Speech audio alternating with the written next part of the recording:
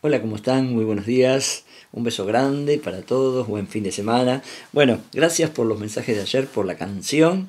No les había dicho nada porque quería darles esa sorpresa y bueno, me alegro que les haya gustado. Bueno, hoy es un día muy importante en nuestro país. Argentina es el Día de la Independencia, así que un saludo enorme para toda mi querida Argentina y a todos aquellos que habitamos en ella.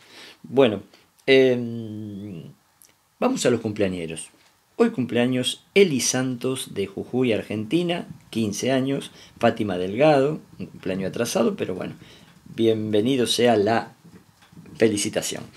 Joel, de parte de su hermana Mariela, y tengo saluditos para Sharon, Giselle Ramírez, Mateo Sandoval, Camila Sánchez, Melanie Taveras de República Dominicana y Nicole Cabrera de Perú. Y a todos en general, un beso grandote. Bueno, ahora sí, entre todos los mails que me mandan, bueno, encontré este muy interesante. Me lo manda una joven de Sevilla, España. Es una hermosa historia que escribió un amigo de ella, que lamentablemente ya no está entre nosotros, pero escribía un montón de cosas muy lindas y me mandó una historia muy interesante que escribió este amigo JB. Y la vamos a hacer ahora rindiéndole de esta manera un pequeño homenaje. Así que bueno, JB escribió este relato que se titula Una nueva ilusión. Cuentan que hubo una vez un duendecillo que vivía en los bosques de Escandinavia, cuyo nombre era Odín. Dicen que era el más poderoso y también el más sinvergüenza de todos los duendes del mundo. Su poder era casi ilimitado. Cuentan que tenía un corazón frío y duro como el hielo del polo. La mayoría de las duendecillas de la zona habían intentado acercarse a él, pero Odín no estaba hecho para amar. El amor es químicamente igual a un atracón de delicioso chocolate fondant, solía decir. El problema era que básicamente todas las duendecillas solían actuar de manera diferente a como eran en realidad. Odín, que era muy inteligente, se percataba rápidamente de la situación y rechazaba toda muestra de amor. Sin embargo, los padres de Odín no aprobaban esta mentalidad. Querían que su familia se perpetuara con los descendientes de Odín. Sus padres buscaban con artimañas propias de duende que su hijo se encontrase en muchas ocasiones en encuentros deliciosamente románticos con bellas duendecillas que accedían encantadas a este tipo de situaciones. Pero, como se dijo, Odín era muy inteligente y estas cosas siempre acababan con el, la pobre duendecilla hecha un mar de lágrimas y con Odín riéndose. Sin embargo, todo estaba a punto de volverse en su contra. Sus padres, una vez más, provocaron una nueva situación con una duendecilla que no era cualquier duendecilla. Era la hija del rey de los duendes, Mogán. Su hija, Altamira, hacía tiempo que suspiraba por Odín y ante la proposición de sus padres accedió a colaborar, gustosamente en sus estratagemas. Pero el episodio llegó a oídos de Mogán, quien decidió vengarse de Odín, acudió en persona al altar de Thor, el dios de los duendes. Como rey era la única persona que podía hacerlo. Allí le pedía consejo ante los problemas que la nación de los duendes ocasionaba de vez en cuando. De la buena interpretación del rey respecto de las palabras de Thor dependía el bienestar de los duendes. Cuando escuchó el nombre de Odín, ya tenía preparada la venganza. Thor mandó al mundo a la duendecilla que enamoraría a Odín, pero ésta no correspondería a tal amor. Odín haría lo imposible, según Thor, para conseguirla. Cuando Odín vio a aquel ser, sintió que su corazón se llenaba de alegría. Era algo que jamás había sentido, como un enorme deshielo que dejaba correr el fluido por todo su cuerpo, un fluido que jamás había percibido en su interior. Ni siquiera tenía miedo de estos nuevos sentimientos que afloraban. Ahora, en su alma de duende, solo había esplendor. esplendor y ganas de conocer el nombre de aquella duendecilla. Lo supo rápidamente. Eurídice. Pero Eurídice, tal y como profetizó Thor, rechazó una y otra vez a Odín. Este se turbó ante tal situación. El dolor que sentía era tan profundo que le venían ganas de arrancarse la piel del pecho. Pidió consejo al rey, y Mogán, tal y como le había dicho Thor, lo mandó al altar del dios de los duendes. Odín era el primer no rey que hablaba con Thor. Cuando éste le preguntó qué estaba dispuesto a perder por conseguir a Eurídice, Odín, ciego de amor, obnubilado por su pasión, contestó que lo que más tenía, su poder casi ilimitado.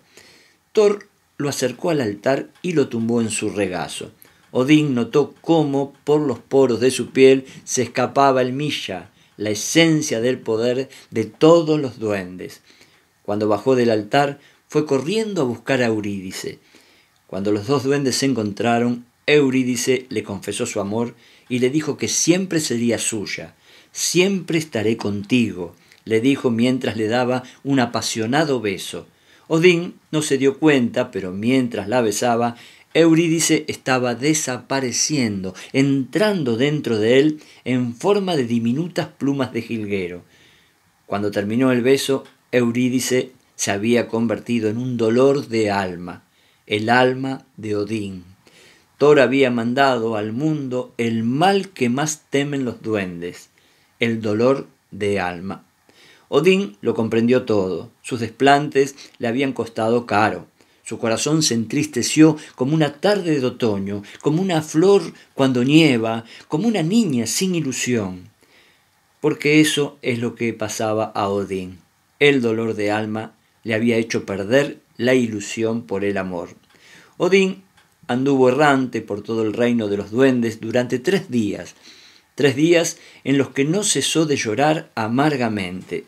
Odín era joven, Tenía 70.299 años, pero jamás había llorado hasta ese entonces. Mogán, arrepentido por lo que le había hecho, fue al altar de Thor de nuevo, pero el dios de los duendes no lo escuchó esta vez. Odín se sentó a meditar su desconsuelo encima de una piedra. Pensó, como había perdido todo su poder, empezó a llorar otra vez. Su llanto se escuchaba a varios decámetros a la redonda. Este llanto llegó a oídos de un duendecillo de apenas diez mil años, que vivía con su hermana. Este duendecillo se llamaba Lotén. Lotén se asustó y llamó a su hermana. Esta, alarmada, fue a defender lo que más quería en el mundo y salió al encuentro de ese llanto. Cuando encontró a Odín, se sentó a su lado. Le preguntó quién era y qué le pasaba. Odín le contó cómo se había mofado de todas las duendecillas, de la venganza de Mogán, cómo entregó su poder a Thor y cómo Eurídice se había convertido en su dolor de alma. ¿Ese es el dolor que tienes? Preguntó asombrada la duendecilla. Sí, y he perdido la ilusión por el amor que un día encontré. Odín le preguntó cómo se llamaba. Mi nombre es Caida. Odín escuchó entonces la voz de Eurídice que decía, siempre estaré contigo, hasta que encuentres el remedio al dolor de alma. Odín había perdido su poder, pero no su inteligencia, y había perdido la ilusión por el amor. ¿Cómo volver a encontrarlo? Siguió pensando mientras miraba los ojos vivarachos de Caida. La duendecilla le dijo que allí no podía encontrar el remedio, porque su vida se limitaba a educar a su hermano y mantener su casilla como buenamente podía. Necesito ayuda muchas veces, porque sola no puedo. A Odín no le pareció nada aburrida la vida de Caida. Le propuso quedarse allí, con ella. Caida aceptó. Allí Odín se olvidó de su anterior pena, aunque persistía el dolor. No sabía cómo erradicarlo. Un día preguntó a Lotén dónde estaba su hermana. Lotén no lo sabía. Empezó a buscarla fuera de la casa. Anduvo todo el día y no la encontró. Su angustia era muy grande. Regresó a casa y escuchó la angelical voz de Caida. Le preguntó dónde estaba con lágrimas en los ojos. No se había movido de allí. Había estado jugando al escondite con Lotén y por eso el pequeño no sabía dónde estaba. Odín abrazó a Caida y la besó. Sus lágrimas se convirtieron en plumas de jilguero que cayeron al suelo y desaparecieron. Allí, en aquella humilde casa y sin grandes demostraciones de cariño, tan solo el día a día había recobrado la ilusión por amar. Amaba a Caida y todo lo que ella representaba. Había perdido su poder, pero ¿qué importaba ya? Su dolor de alma había desaparecido y ahora tenía una nueva ilusión. Y yo pienso que si un duendecillo fue capaz por sí solo de encontrar una nueva ilusión por algo o alguien que había perdido, las personas también pueden volver a encontrar una ilusión nueva.